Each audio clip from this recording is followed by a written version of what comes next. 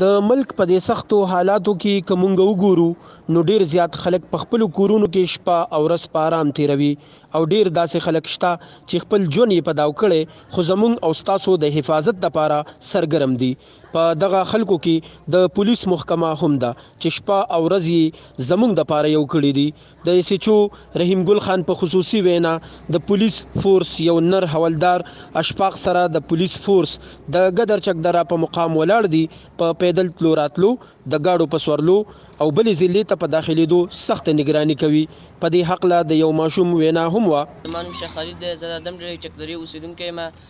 د پولیس ملګري چې کوم دي دا زموږ د حفاظت لپاره راوتي دي او موږ له پکار دي چې موږ احتیاط کوو، خپل کورونو کې کېنو، بار بار لاسونه وینځو، او پولیس سره پوره پوره تعاون وکړو. تاسو هم د پولیس فورس سره ډیر تعاون کوئ راجه محمد زیب سجاول ملکن ټی وی ګدر چکدره کوزدیر.